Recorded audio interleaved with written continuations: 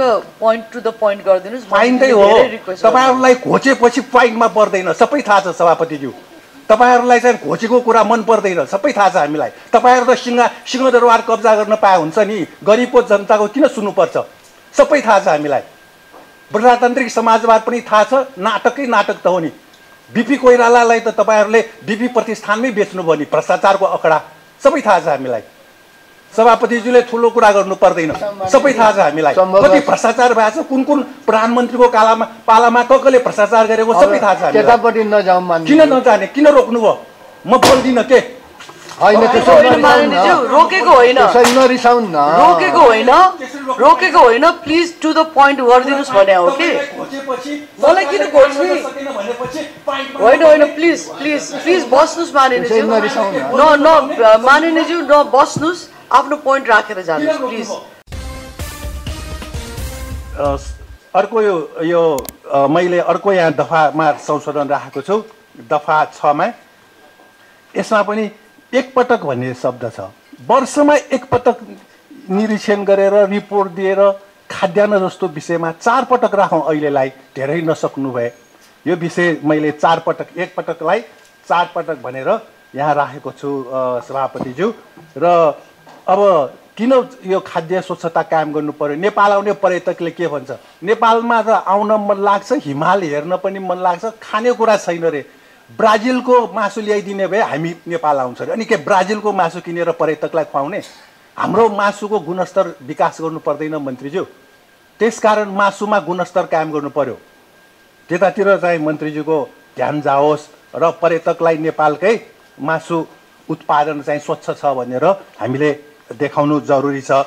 र त्यसको लागि एकपटक अनुगमन होइन वर्षमा चारपटक अनुगमनको व्यवस्था गरौँ। र अर्को मैले यहाँ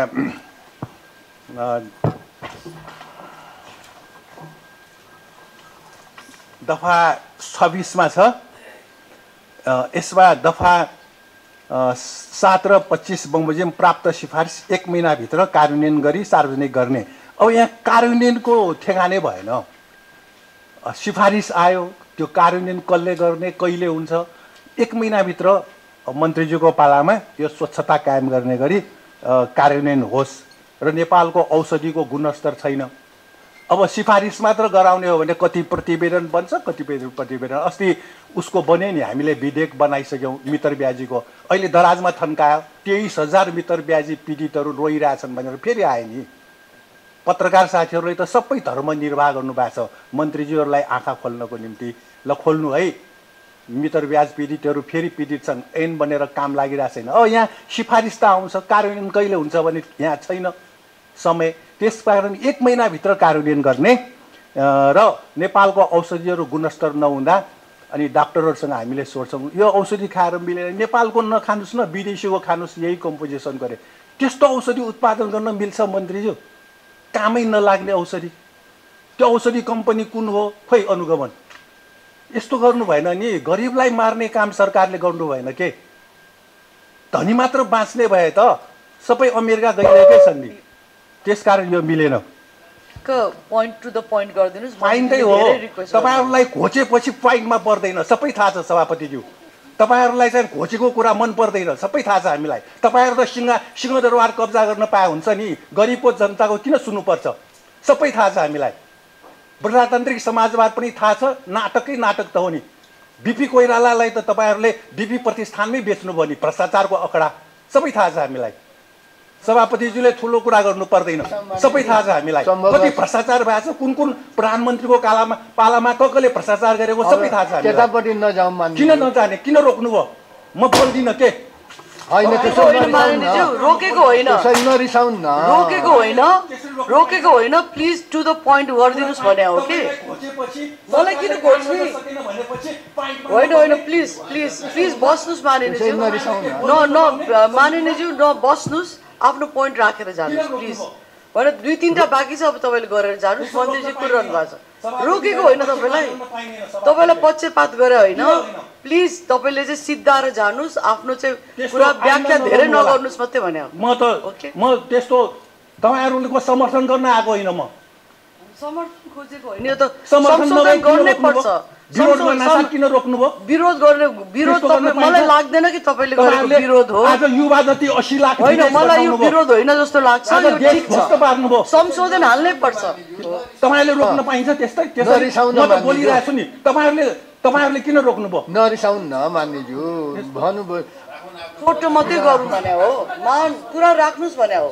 छोटो राख्नुहोस् कुरा राख्नुहोस्। छोटो रा अरू कसैलाई भन्नु पर्दैन मलाई किन भन्नुपर्छ सभापतिज्यू ठिक छ ठिक छ प्लिज तपाईँ लामै राख्नुहोस्। गर्न पाइन्छ? लामै राख्नुहोस् लामै राख्नुहोस् दिनभरि हामी यहीँ बस्न आऊ त्यस्तो नचाहिने नचाहिने कुरा।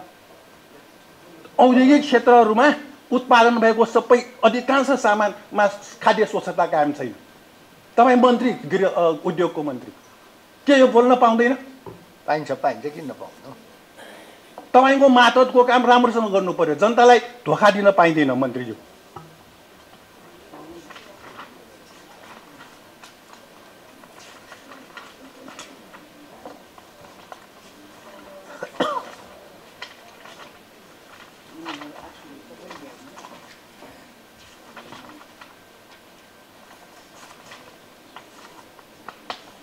अब छ महिना यता।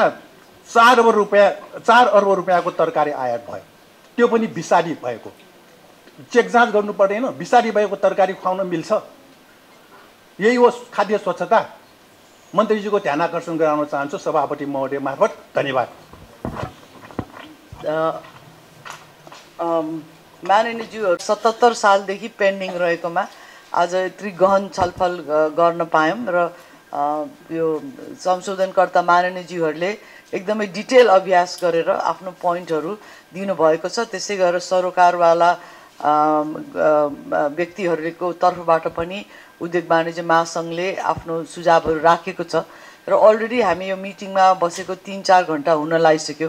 त्यस हुनाले यति धेरै आजै हामीले गर्न सक्छौँ जस्तो मलाई लागेन। त्यस यो बैठकलाई चाहिँ हामी कन्टिन्युड राख्छौँ। किन सबैजनाको सुझावहरू धेरै महत्त्वपूर्ण छ। गभर्नेन्सको कुरा एक्सपर्टिजको कुरा यो धेरै धेरै कुराहरू यो थ्री लेयर्स अफ गभर्मेन्टको कुरा यसले चाहिँ कसरी चाहिँ यो के अरे यो खाद्य सुरक्षा के अरे ऊ मात्रै भन्न से- सेफ्टी को बारेमा चाहिँ धेरै नै गहन छलफलहरू हुनुपर्ने भावेर आजको बैठक चाहिँ यही टुङ्गाएर फेरि हामीले चाहिँ यसमा सिरिज अफ बैठक गरेर यसलाई टुङ्गाएर अनि संसदमा पेस गर्ने हाम्रो योजना छ। हाम्रो हाम्रो हाम्रो यो समिति चाहिँ यो बैठ यो विधेयक बारेमा एकदमै सिरियस भएर लागेका छौँ। र यो भनेर आज आइदिनु हुने सम्पूर्णलाई धेरै धेरै धन्यवाद दिँदै आजको बैठक यहीँ स्थगित गरेर र नेक्स्ट टाइम फेरि बोलाउने चाहिँ यहाँहरूलाई नोटिस गर्दै आज आउनुभएकोमा पूर्ण धन्यवाद दिँदै यहीँ टुङ्गिन्छ। धन्यवाद।